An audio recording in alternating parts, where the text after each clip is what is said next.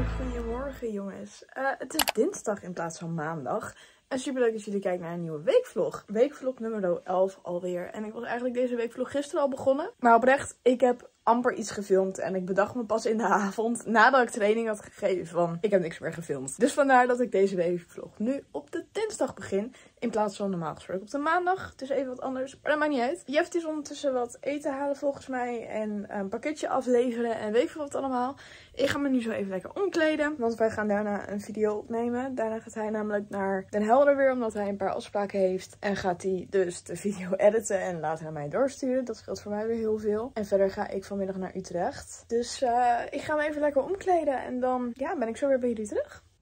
Ik moet nog even wakker worden. Dit soort momenten wanneer dat licht echt vol mijn bakken schijnt, denk ik echt van, oh my god, mijn hoofd. Oh, maar we gaan even rustig wakker worden. Ik ben op zich al best wel eventjes wakker. Maar ja, mijn lichaam en mijn hoofd. Ik ben ook echt net ongesteld geworden. Althans, gisteravond werd ik ongesteld. Was ik echt net op tijd erbij. Ik moest gewoon les geven en ik voelde al wel iets van, oké, gaat dit dat zijn, ja of nee? Eindstand was het dus inderdaad dat ook. Gewoon even wassen. Even gezicht op orde brengen ook. Zo, ik heb heel weinig gefilmd in de stad. Mocht je de gehele video willen zien, dan moet je even die zeker even checken. Wanneer die online staat, geen idee, maar staat vast en zeker wel in het i'tje. Ik uh, ben wel in ieder geval geslaagd. Ik heb twee dingetjes meegenomen. Laat ze zo even zien. Maar uh, ik ben inmiddels na 2,5 uur of na 3 uur al inmiddels ben ik weer lekker onderweg naar huis. Het was een lekker middagje. Even lekker alleen de dooltop. Ja, kan niet kwaad denk ik. Bijna thuis. Even lekker wat eten. Even zitten. Heel nodig moet ik naar de wc. Dat ga ik ook gelijk doen. En dan ben ik weer lekker thuis. Zo, we zijn thuis. Dat zie je ook echt lekker aan mijn hoofd. Ik ga even laten zien wat ik heb gehaald. Ik ga denk ik wel even een ander licht pakken. Nee, dat is prima. Wat ik heb gehaald. Als allereerst, alles wat ik aan had, ik vond het echt aan de ene kant best wel chill om gewoon lekker alleen te shoppen eigenlijk. Maar na echt gewoon 2,5 uur was mijn hele brein gewoon eigenlijk klaar ermee. En dat heb ik al best wel snel. Ik ben totaal niet van het shoppen en totaal niet van het de stad ingaan en kleding passen en dit en dat. Dus dat ik dit überhaupt deed was echt een beetje out of mijn comfortzone als ik dat zo kan zeggen. Maar dan heb je wel iets leuks. En we beginnen eigenlijk met um, de laatste winkel van de Zara. En daarbij heb ik... Oh, moet ik hem wel even goed laten zien. Heb ik dit blouseje gehaald. En voilà. En ik vind het heel leuk dat dat witte zo lekker aan de onderkant zit. En deze was trouwens 25,95 en ik heb hem in maat S. Hij is wel wat groter dan, dan ik dacht. En die achterkant die moet echt wel even goed gestreken zijn, want anders dan gaat hij heel gek zitten. Dit is nummer 1. En dan eigenlijk de eerste winkel waar ik in ging, dat was de Berska. Daar vond ik eigenlijk niks echt leuk. Of dat ik dacht van ja, dat ga ik aanproberen. Ik was eigenlijk ook een beetje out op mijn comfortzone met al die kleding die ik zag. Daarna ging ik door naar de Stradivarius. Dat was op zich wel wat interessanter, maar niet, nog steeds niet iets waarvan ik dacht van ja, dat wil ik mee hebben. Toen ging ik naar de Kostes. En dat hebben jullie denk ik ook wel gezien. Ik had daar uh, twee broeken gehaald volgens mij. Ik had een blouse gehaald. En ik had een soort van pak-idee aangetrokken, aangepast, hoe je het ook allemaal wil noemen. Maar ik heb uiteindelijk deze, ja, jas, blouse heb ik meegenomen. Kijk nou, al die glittertjes is echt geweldig. Ja, ik wilde dit al zo lang dat ik dacht van ja, ik kan hem nu wel laten hangen. Maar ik vind hem heel leuk en dan ga ik weer spijt hebben. En Kim en kleding, als ik echt op, oprecht iets leuks vind en het past, dan moet ik het gewoon gelijk meenemen. Anders dan ga ik gewoon letterlijk spijt hebben. Dus ja, dit is nu het jasje geworden. En die glitterstras heet het volgens mij. Die lopen ook door naar de achterkant. Dus dat is echt hartstikke leuk. Hij is, uh, ja, echt leuk. Het is ook denim. Dus dat vind ik ook heel tof. Ja, ik had dus deze ook aan met een witte broek. Alleen die witte broek die scheen zo ontzettend door dat ik echt dacht van... Oh mijn hemel, dat ga ik nooit doen. Ik heb hier wel een witte broek, maar ik wilde eigenlijk een andere ook nog erbij. Want deze is best wel, die ik zelf hier thuis heb, best wel dik. Dus ja, misschien dat ik even een keertje ergens anders moet gaan kijken of zo. Of hier in Amersfoort een keer in moet gaan. En dan hopen dat dat ook gewoon past en zo. En dat het lekker zit. Want ja, mijn maat is gewoon echt niet te doen eigenlijk. En deze was uh, eh, 90 euro en ook in een maat S. Ik wilde deze eigenlijk eerst in een XS, maar die hadden ze niet. Dus ik dacht van ja, waarom ook niet de S? Ik heb ook gewoon een S gepast. En ja, dat is eigenlijk wat ik mee heb genomen. Ja, dat. Een hele goede morgen allemaal. Het is uh, woensdag uit mijn hoofd. En het is net iets over half acht. En Kim, waarom ben jij nu al wakker? Moet jij niet oppassen? Ga verder slapen alsjeblieft. Nee, dat kan niet. Ik heb namelijk, zoals ik gisteren ook al zei, ik heb die presentatie over dat influencer gebeuren. En dat heb ik ergens in Drenthe, in de Assen geloof ik uit mijn hoofd. En dat is normaal gesproken anderhalf uur rijden. Maar ja, als er file staat, ben je zo twee uur kwijt. Ik ga rond acht, kwart over acht ga ik weg. Zodat ik in ieder geval wat tijd heb om daar te kunnen komen. Dus daar ga ik zo heen. Ik hoop dat ik ook een beetje kan gaan filmen van hoe... Hey, boller. van um, ja, hoe de presentatie in elkaar zit. Maar ja, nogmaals, het is een school. Dus ik kan niet alles filmen als ik heel eerlijk ben. Ik ga me even omkleden. Ik wilde eigenlijk dat nieuwe dingetje aan. Die spijker met die glitters. Maar ik weet niet of dat op een zwarte broek kan, ja of nee. Mm, moeilijk. Anders moet ik even iets anders aan doen. Wat wel een beetje opvalt, denk ik. Kan niet opvallen, maar lijkt me denk wel logisch als er een soort van influencer komt dat je niet een hele saaie outfit voor je hebt. Maar goed, either way. Ik uh, ga me omkleden. Dus ik ben terug wanneer ik in de auto zit, denk ik. Ik ben gisteren natuurlijk naar de winkels gegaan in Hoge Terreinen. En daarbij heb ik eigenlijk deze gevonden. En deze wil ik eigenlijk heel graag aan vandaag. Hij is wel echt hartstikke leuk. En ik twijfel een beetje om dat gewoon met deze zwarte broek te kunnen combineren. Zou dat leuk zijn, ja of nee? Ik had gisteren namelijk een witte broek eronder. En dat vond ik ook heel nice. Maar ja, aangezien ik echt zo ongesteld ben als maar wat, lijkt me dat niet heel handig. Dus ik denk dat ik gewoon de zwarte broek ga proberen. Ja, laat het gewoon doen. Let's try it. Let niet op de bende eromheen. Maar ik vind het eigenlijk best wel leuk. Dan een beetje mijn mouwen opgestroopt. Zo, het ziet er iets actiever uit. I kinda like it. Ik moet wel vanavond douchen. Ik wilde dat eigenlijk gisteravond doen, maar dat is niet meer gebeurd. Dus ik moet wel even wat aan mijn haar doen zo meteen. Maar de witte schoenen eronder en het is perfect. En ik weet niet of je het zag, maar er zitten dus allemaal van die diamantjes, stras op, hoe je het ook allemaal noemt. I like it. Ik vind het echt wel een zomer outfitje, al zeg ik het zelf. Oh, ik ben mijn geluchtje vergeten. Nou, tandjes zijn gepoetst. Ha, gezicht is gewassen. Ben ik ready to go. Maar ook weer, ook weer niet, want ik moet nog alles spullen pakken die ik mee moet nemen. Um, ik wil het zeggen mee met wat ik allemaal mee moet nemen. Maar ik wil sowieso mijn camera meenemen. Mijn statief wil ik meenemen. Mijn laptop moet ik mee. One hour later. Ik ben op locatie. Ik heb er iets langer dan uh, anderhalf uur over gedaan. Ondertussen even deo spuiten, want ik stink echt meer dan ik lekker ruik. En gelukkig heb ik altijd deo in de auto liggen, dus dat scheelt. Ik voel me echt een student. Ik sta op een docentenparkeerplaats ook. Dus ik weet niet of ik me daar heel erg chill bij voel. Maar ja, het is wel weer een, een flex of zo. I don't know. Ik ben wel een beetje zenuwachtig aan het worden. Dus ook wel te zien aan mijn duim. Want altijd als ik zenuwachtig ben, dan maak ik mijn hele nagels kapot. En ga zo maar door. Maar uh, gelukkig is dat niet te zien zo, dus dat is top. Ik ga mijn spullen pakken ga ik naar binnen, denk ik. Ik weet niet hoeveel ik kan filmen, het is gewoon een school namelijk. Dus hoop op het beste nu. Nou, daar sta je dan met je presentatie voor nu nog een lege klas. Ik ga even alles uitruimen, alles, in, alles uitpakken. En dan uh, gaan we zo beginnen. Ik ben heel erg benieuwd. One hour later. Nou, de eerste ronde zit erop. En de tweede ronde komt zo. En die ga ik, mag ik ook filmen. Dus uh, hierna komt even de tweede ronde in beeld. Ik ben nog heel rood, maar het is hier echt bloed en bloed voor ziek het heet. Ik denk ook dat het door dit ding komt. Want deze is ook best wel dik. Maar uh, het ging echt goed. Ik krijg er heel veel complimenten van hoe ik presenteer. Terwijl ik echt heel erg faalangst heb om te presenteren. En überhaupt om voor een grote groep te staan. Maar ik krijg complimenten. Dus dat is echt een goed teken. Laten we snel doorgaan naar ronde 2. Even voor jullie, ik had twee groepen waar ik een presentatie aan moet geven. De eerste groep was heel enthousiast en deze groep was wel wat moeilijker. Daar strukkelde ik wel wat mee. Maar uiteindelijk kwamen ze los. Dus hier een paar stukjes van de presentatie en wat ze vragen. En ga zo maar door. Geniet ervan.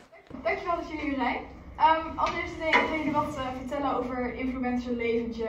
Uh, ik ben zelf Kim. Ik ben zelf ook een influencer, content creator. Eigenlijk noem ik mezelf meer. Um, laten we gewoon maar met de vraag gelijk de deur vallen. Als jullie het woord influencer horen, wat, waar denken jullie gelijk aan? Social media? Ja, content creator. Content creator? Heel veel geld maken. Voor niks. Voor niks ook. Voor niks. Nou, zo zitten niet in elkaar. Maar inderdaad, zulke dingen hebben er inderdaad allemaal mee te maken. En ik ga jullie vandaag wat vertellen over influencerleven, hoe ik het zelf heb ervaren en waar ik nu sta en hoe ik er ben, mee ben begonnen. Um, ik ben Kim, ik ben 22 jaar en ik kom uit Amersfoort. Inderdaad, ik ben influencer op verschillende social media platformen, waaronder TikTok, YouTube, uh, Instagram, ga zo maar door. Heb ik ongeveer nu 250.000 volgers op vooral TikTok.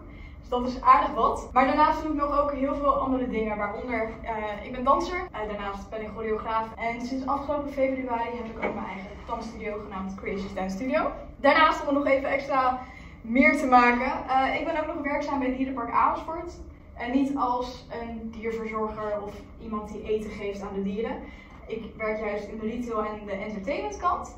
En dat houdt eigenlijk in de winkels, de attracties, de acteur kant op. Dus de entertainment in dit geval. Zelf heb ik wel een opleiding gedaan. Waaronder ONDTP slash media vormgeving. Eigenlijk alles wat met vormgeving te maken heeft, zit daarin. Dus bijvoorbeeld dit is vormgeving. Je ziet verpakkingen, je ziet flyers op straat bijvoorbeeld. Dat krijg je eigenlijk allemaal bij die opleiding. Hoe is het voor mij eigenlijk allemaal begonnen? Het is, ehm, ja, eigenlijk ben ik begonnen. Ik weet niet of jullie toevallig de app Musical.ly kennen. Ja. Ja, heel lang geleden.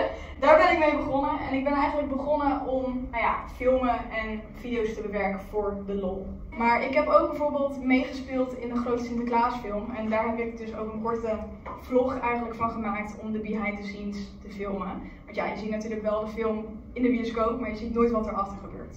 Dus vandaar ook deze video. Hoi! En wat zijn wij? Wij zijn presentatie. Uiteindelijk ging ik van de 100.000 volgers naar 2000 volgers in nog ineens een jaar tijd. Dat ging echt bizar snel op een gegeven moment. En ik kreeg heel vaak de vraag van Kim, waarom start je geen YouTube kanaal? Mensen wilden dus heel veel of heel graag langere video's van mij zien. Want toen destijds op TikTok kon je maar tot 1 minuut of 3 minuten uploaden geloof ik. Dat is nu volgens mij 10 minuten geworden. Nou, waar sta ik nu? Eigenlijk de afgelopen twee jaar, ongeveer 2, 3 jaar.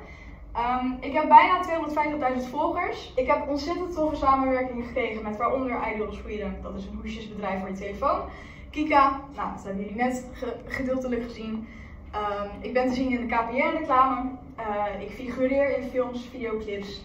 Ik sta op festivals. Wat doe ik niet eigenlijk, kan ik beter zeggen. Vraag aan jullie. Wat denk je wat je allemaal nodig hebt om bijvoorbeeld hiermee te gaan beginnen? Camera. Camera. De juiste doelgroep. Nog meer dan een camera en de juiste doelgroep? Social media. Social media. En wat voor doel heb je dan? Als je bijvoorbeeld social, social media begint, en je, dan heb je misschien een doel daarmee. Wil je bijvoorbeeld bekend worden? Wil je veel volgers hebben? Doe je het omdat je het leuk vindt bijvoorbeeld? Dat zijn dan misschien allemaal doelen die daar... eh, Ik krijg namelijk best wel vaak de vraag van... Hoe word je nou bekend en hoe ga je nou een influencer worden? Hoe start je met video's maken? Mijn regel 1 eigenlijk die ik altijd aan iedereen vertel. Doe het nooit om bekend te worden. Dat is echt, je gaat jezelf er zo erg mee tegenkomen. Zo ziet er bijvoorbeeld een edit van iMovie eruit. Het ziet er heel gemakkelijk uit, maar het is een video van 15 minuten. En hier ben ik ongeveer denk ik wel een kleine 3 à 4 uur mee bezig geweest. Dus er zit heel wat tijd in die mensen vaak genoeg niet zien. Dan de voor- en de nadelen, of in dit geval de nadelen en voordelen ervan.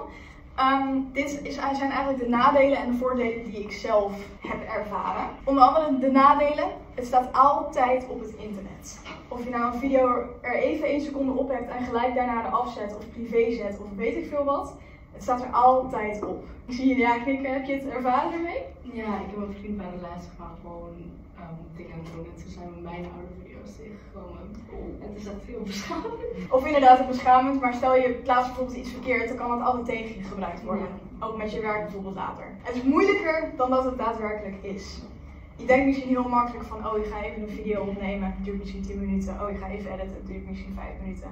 Ik ben denk ik met alle video's die ik in een week maak, misschien wel echt 3, 4 dagen echt daadwerkelijk ermee bezig. Naast nog dat ik bij Dierenpark werk, naast nog dat ik mijn eigen dansschool heb. Eh, je kan uiteindelijk je geld ermee verdienen. Je kan samenwerkingen krijgen. Dan het laatste, en dit is voor mij echt wel een hele mooie geweest. Ik heb zelf niet heel veel vrienden zelf. Na mijn mi- middelbare en na mijn mbo-tijd. Maar door dit werk, of door mijn hobby eigenlijk, ben ik dus 9, ik denk 90% van mijn vriendenkring heb ik leren kennen daardoor. Dus eigenlijk al mijn vrienden die doen bijvoorbeeld ook aan content creator, die doet ook aan social media, die maakt ook video's op welk platform dan ook. Wat is je motivatie voor als het moeilijker wordt? Toevallig heb ik dat afgelopen maand gehad. Afgelopen maand dat ik echt, dat ik dacht van ja, wat moet ik nou weer gaan uploaden? Wat moet ik nou weer gaan posten eigenlijk? En heel simpel, ik ga dan mezelf niet dwingen om iets te gaan plaatsen. Vroeger had ik dat wel van, oh ik moet nu plaatsen en oh ik moet nu mijn engagement hoog houden en mijn views moet ik hoog houden. Maar nu denk ik van ja, ik heb toch al heel egoïstisch gezegd eigenlijk, ik heb nu toch al best wel wat volgers. Dus hoe dan ook, ze zien het toch wel wat ik plaats. Toen de presentatie af was gelopen, hadden we nog even een vragenrondje gesteld. En dat waren de uiteindelijke vragen die je net hoorde. We hadden nog even lekker nagekletst. Ik was ook nog even met een paar andere beroepen aan het praten na afloop. En toen was het alweer heel gauw tijd om lekker richting huis te gaan. Een paar uur later. Het is op dit moment 9 over 3. een uur geleden was ik ongeveer klaar. Ik, ben na, ik heb namelijk al even een stukje gereden. Maar zoals gewoonlijk sta ik bij de McDonald's. Heb ik even lekker ja, wat eten, wat lekkers gehaald. Waarom ook niet. Het was echt super leuk, super gezellig. De eerste groep was uh, heel enthousiast. Wel heel, uh? Veel praten, bla bla bla. Maar ze vonden het uiteindelijk wel interessant toen ik wel echt wat video's liet zien. De tweede groep was wat stiller, maar ze waren, hadden wel de aandacht. Dus dat was wel echt heel tof. Ja, het was gewoon echt een, uh, een leuke middag. Waarschijnlijk word ik volgend jaar weer gevraagd. Dat vroegen ze in ieder geval. Dus dat is echt hartstikke leuk. Ik ben benieuwd of ze er wat van opgestoken hebben. Denk het wel, want ze vroegen best wel veel. En ze dachten van, oh, zit dat zo in elkaar? Zit dat zo in elkaar? Dus denk dat het wel goed is gekomen. Ik ga nu in ieder geval lekker smikkelen. En uh, dan ga ik zo weer lekker naar huis. En het is echt bagger weer. Dus ik ben blij dat ik nog even binnen zit. Goedemorgen, goedemorgen. Het is uh, donderdag in dit geval. En het is iets over acht. Oh, het is kwart over acht zelfs. En ik moet over een klein kwartiertje onderweg. Want ik moet lekker werken. Ik moet vandaag flyers rondbrengen namelijk. Dit heb ik al een keer eerder gedaan. Dat was echt een half jaar geleden geloof ik ongeveer. Misschien iets iets korter, een paar maanden geleden. Maar letterlijk wat ik moet doen is, uh, ik ga rondjes rijden met de auto eigenlijk regio Utrecht vandaag. Ik krijg gewoon een lijstje mee met allemaal adressen en bedrijven waar je heen moet. En dan de flyers aflevert en dan ga je eigenlijk gewoon weer naar de volgende. Dus het is eigenlijk best wel lekker simpel vandaag. Lekker toeren, lekker rijden, lekker genieten van het weer. Als dat nog zo is. Want hier is het heel zonnig. Maar ik kreeg net een melding dat het zo gaat regenen. Dus ik ben heel benieuwd hoe het vandaag gaat zijn. Ja, ik ga even sokken pakken. En dan ga ik even wat drinken, met tanden poetsen, gezicht wassen. En dan uh, langzaam mijn spullen pakken, denk ik. Want het is alweer bijna tijd om te gaan. Oh, ik zit in de auto, zoals je kan zien. Het is niet Bertha. Maar kijk hoe ziek dit is. het is echt bizar, hoe ziek. Um, maar ja, het is niet echt een, een het is een handgeschakelde auto, dus dat is wel even wennen. Maar uh, ik heb nu twee adressen gehad. Ik moet er nog echt heel veel. Dus ik ga lekker even doorrijden. En um, wat kan ik meer vertellen? Niet heel veel. It is what it is. Zo, ik hoop dat dit blijft staan. Ik weet niet of je me hoort, maar um, ik ben weer onderweg. Ik heb even een pauze gehad. En nu gaan we weer uh, onderweg. Nou, let's go. De laatste paar adressen. We gaan ervoor. Woe! Oeh, jongens, wat zie ik eruit. Uh. Um, hoi. ik ben weer thuis zoals je kan zien. Uh, het is iets over half zes. Ik ben ongeveer een uurtje geleden was ik klaar met de flyers brengen. En yo, wat heeft die laatste paar uur er bij mij ingehakt of zo. Ik weet niet waarom. Wow, het ziet, het ziet, ik zie er al heel slecht uit. Ik weet niet waarom, maar het zal wel. Ik heb net mijn factures verstuurd. Ja, ik heb net mijn factures verstuurd. En ik ga wat dingen regelen nog voor de mix die ik aan het maken ben. Ik kan wel alvast even een klein voorproefje geven. Ik ga nog niet te veel verklappen, want dat verklapt natuurlijk alles voor eventueel volgend jaar. Maar zo begint het. Ik denk dat dat genoeg zegt. Ben echt heel erg excited voor deze mix. Uh, het is wel een lange mix, maar ik heb deze letterlijk gisteren toen ik naar Assen reed en weer terug heb ik hem alleen maar geluisterd. En ik en luisteren en in de auto zitten is echt een topcombi. Want zo kan ik dus dansen maken. En ik heb eigenlijk al de halve dans af. Dus dat is wel echt een heel goed vooruitzicht voor komend seizoen. Ik ga nu even wat dingen opschrijven, denk ik, wat handig is voor de wedstrijden. En dan uh, eten, douchen. Want ik word helemaal gek van mijn haar dat het zo, zo zit. Ja, zo ziet mijn avond eruit. En altijd slapen, want ik zie er echt heel, heel moe uit ook. Yo, nou. Hallo vlog. Wij gaan uh, naar Den Haag. Waarom? Dat vertel ik zo. ja, we kijken er echt al bijna twee maanden of zo naar uit. Maar uh, nu is het eindelijk zover. Hey vlog! Jee! Ik heb nog niet gezegd waar we heen gaan. Ik ook niet, we gaan vrouwen kijken. Niet. Uh, voor en achterin. One hour later. Wij zijn bij de... Oh. Wat ik wilde zeggen is dat wij vandaag aanwezig zijn bij de drie biggetjes van K3. En het heeft zo ontzettend lang geduurd voordat we eindelijk hierheen konden. Maar vandaag was eindelijk de dag daar. We gingen helemaal naar Den Haag om deze musical te zien. Uh, ja, ik vind het heel leuk, hè? Ja, we zijn er. De zou zei dat ik het niet, dat ik het niet leuk vind of niet leuk. Anders was ik alleen gegaan, hè? Ja, dat is ook zielig.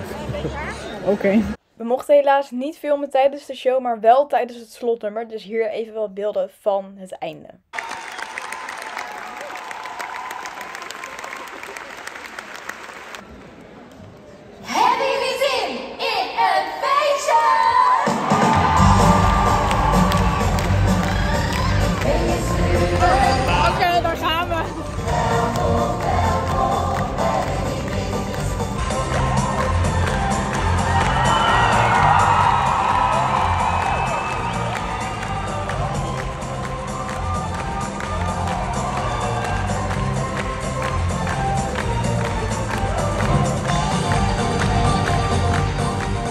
Dan nog even recap wat ik ervan vond. Ik vond de musical echt zo ontzettend geweldig. Heel veel grapjes. Er was zelfs een kindje die een keertje keihard door de zaal ja roepte of juist nee roepte. Ik weet niet meer precies wat het was. Waarop dus de cast daar weer in ging doorspelen. Dat was echt bizar goed en leuk om te zien.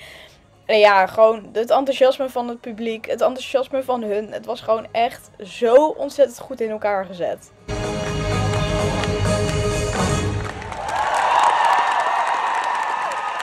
In de avond ging ik daarna ook nog even naar wat vrienden toe. En ook onder andere wat collega's. En Vera, een collega en een goede vriendin van mij, die had iets voor mij. Maar ze wilde niet zeggen wat.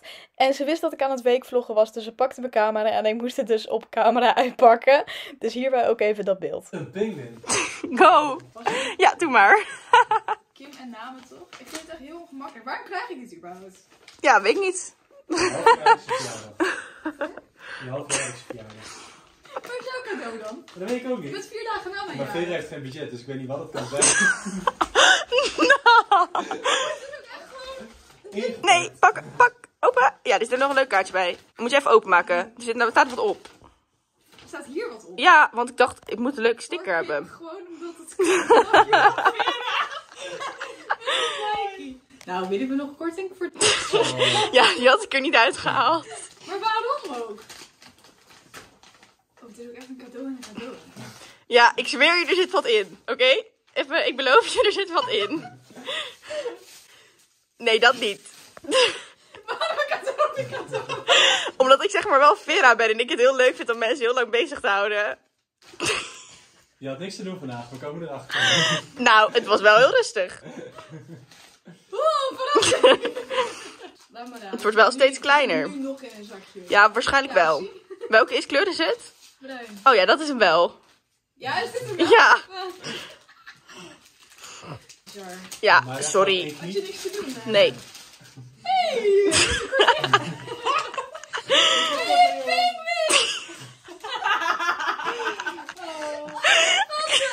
Vera en ik zijn helemaal weg van de pingwings bij ons in het dierenpark. En ook van de knuffels in de shopjes. Dus alsnog bij deze, dankjewel Vera. Daarna heb ik nog een hele uitleg van Vera gekregen over haar levensverhalen en weet ik veel wat allemaal. Al met al een geslaagde avond. Oh, goedemorgen. Ik heb gisteren heel weinig gefilmd. Ik weet het. ik heb ook niet heel erg veel motivatie deze week om iets te gaan filmen. Daar ga ik heel eerlijk over zijn. Soms heb je van die dagen. En ja, dat heb ik dus nu ook. Ik heb echt totaal eigenlijk geen motivatie om deze week eigenlijk heel veel te gaan filmen. Hoe dat komt, ik heb oprecht geen idee. Nu is het ook 9 van de 10 keer zo dat het ook niet heel erg spannend is als ik het wel ga filmen. Uh, maar ja, natuurlijk gisteren. Gisteren gingen wij naar de drie biggetjes. En ik heb het zo erg genoten. Die anderhalf uur was ook echt voor mijn gevoel zo voorbij. Want die show duurt dus anderhalf uur. Ja, dat was wel echt hartstikke leuk. En nu, ik ben nu onderweg naar Zwolle alweer. Want ik heb weer voor de zoveelste keer training. Ik ga heel eerlijk zijn, ik heb nu echt totaal geen zin. Want we moeten van 11 tot 5 vandaag. Dus dat uh, gaat pittig worden. Dus ja, daar ben ik nu naar onderweg. Uh, dus ja, vandaag kan ik ook niet heel erg veel filmen laten zien. Want ja, ik ben gewoon aan het trainen natuurlijk. Gisteravond was het ook echt hartstikke gezellig. Heb ik ook heel weinig van gefilmd. Omdat het gewoon echt te gezellig was eigenlijk. En ik niet de hele tijd met een camera wil rondlopen. Want ja, het zijn ook gewoon collega's en vrienden. En weet ik veel wat het allemaal zijn. Dus, uh, maar ik heb gewoon een, een sleutelhangertje gekregen van Vera. Dat was uh, nou ja, degene die het filmde eigenlijk. Dus eh, dat was echt hartstikke schattig. En dat was een pingwing. Kijk. Wat is deze pingwing? dus ik zit nu eh, aan mijn sleutelbos. en aandenken aan haar. En gisteravond ja, we hebben een beetje muziek gemaakt. En gepraat en gekletst. En foto's gemaakt. En wat hebben we eigenlijk niet gedaan, dat kan je beter zeggen. Dus gisteravond was het wel echt, eh, echt leuk. En nu zijn we alweer lekker onderweg. Dus eh, dat eh, gaan we nu lekker doen. En ja, meer dan dat heb ik ook niet te vertellen. Afwachten wat er vandaag gaat gebeuren.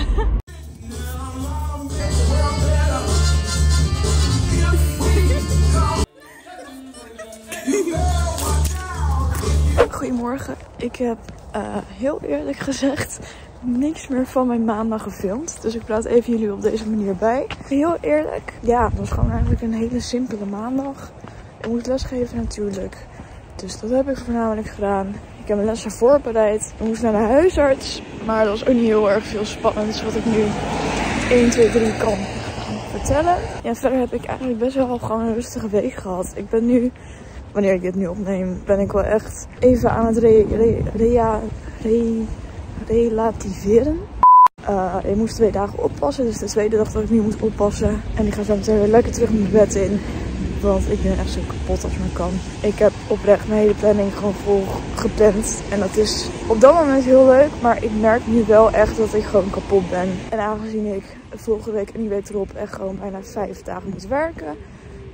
Moet ik wel echt even rust pakken, denk ik. Tot zover mijn week.